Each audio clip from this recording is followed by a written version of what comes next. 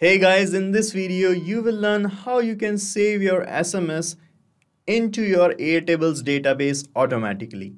So guys, if you want to keep the track of your SMS that you're receiving or if you want to take the backup of your SMS history, this automation is for you. And here we are going to connect Twilio with Airtable. So Twilio is a SMS sending and receiving application. And guys, as and when you are going to receive any SMS uh, on a Twilio number, that SMS will be stored in Airtable's base automatically without any manual intervention. So it will save a lot of your time and manual efforts and we are going to set up this automation without any coding. So let's begin.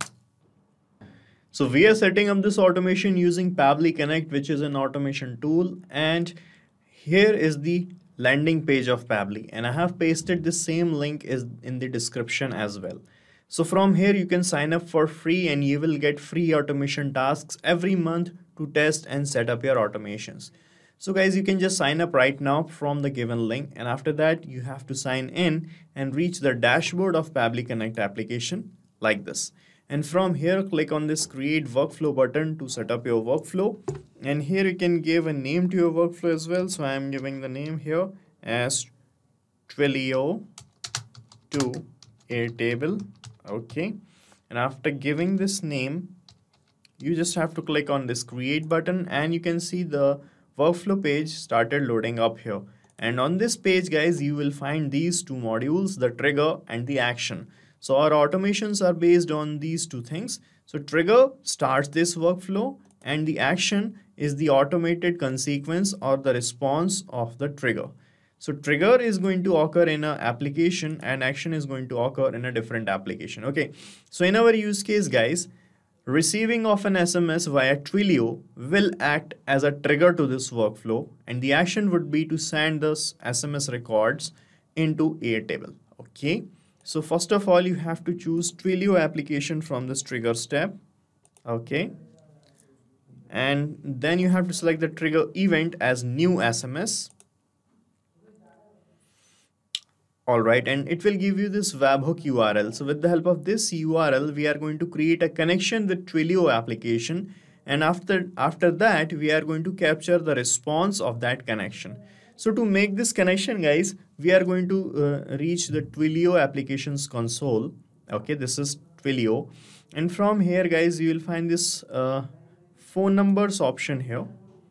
All right from here click on uh, manage button. And here you'll find this active numbers option. Click on active numbers. So this is the active number uh, given to us from Twilio. And guys from here you have to click on this number. Okay so this is the number on which we are going to receive the messages okay and here guys on this page when you scroll down you will find the messaging section this is the messaging section under this messaging section you will find a message comes in option. A message comes in. From here, you have to select this webhook option. And here in this field, you have to paste this webhook URL that you got from your workflow. Okay. So let me just remove this already pasted webhook. Okay. And let me copy this one. All right. And here you can see as we have copied this webhook URL, it started showing waiting for the response. Okay. Now let me paste this URL here like this. Okay. And then click on save to save this settings. Okay. Right. So the number was successfully updated here. Now guys, what I'm going to do, I'm going to uh, send a message to this number. Okay. I'm going to send a message from uh, from a different number. I'm going to send a message to this number and that message will be captured here in this response section of your workflow okay and with the help of that data we are going to move forward in this automation right so guys i have sent a message to the number and here is the response i have received. And in this response guys let me show you uh, a label in which you can see the message that we have received. So here you can see this is the message we have received. Hello we are just capturing the incoming sms messages. This is the message i have sent to this number uh, to this twilio's number and it got captured here like this okay? And it is sent from this number. Right now guys I want to save this message in my Airtables base. So here in this action step I'm going to connect with Airtable.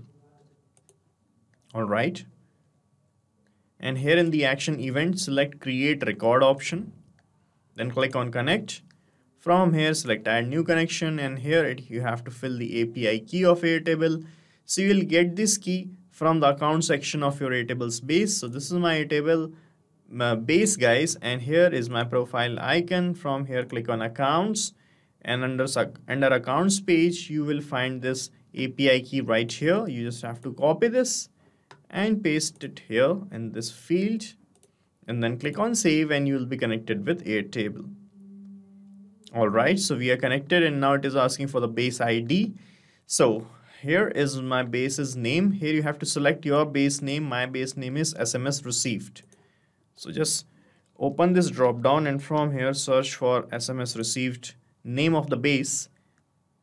And you can see the table ID got auto populated here because we have only one table here named as table 1 all right and here it is uh, it is started showing these fields received from SMS body okay? So these are the two fields I have here. You can see the received from field and the SMS body field okay? And this is a, a another field we have which is going to capture the date and the time of the filling of this data here. Okay so this is a created time field we have added. Okay just for saving the date and the time right? Now to send the data here we are going to map the data from the previous step. Okay so from this previous step i'm going to map the labels i have received. For that you just have to click here and the previous trigger will appear in the drop down. And when you click on it you will see all the data right here. So from here I'm going to map the number like this. Okay? And for the SMS body use the same process and search for the text that you have received.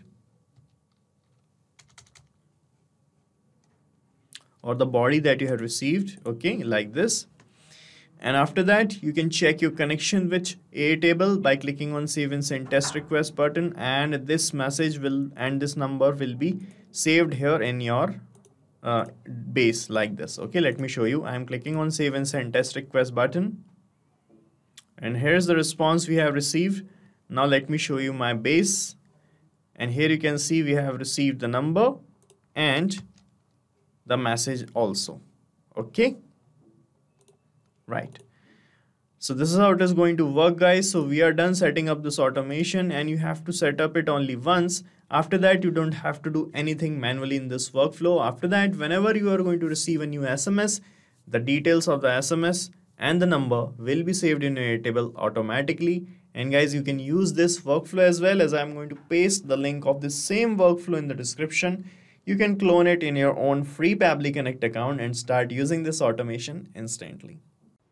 Guys, thank you so much for watching our video and please, please let us know how our automation ideas are helping you in the comment section.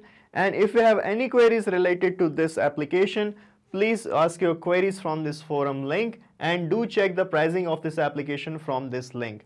And guys, we are open to ideas. If you want us that we should make videos on other aspects of your business, please do let us know in the comment section. And if you like our work, please subscribe to our channel.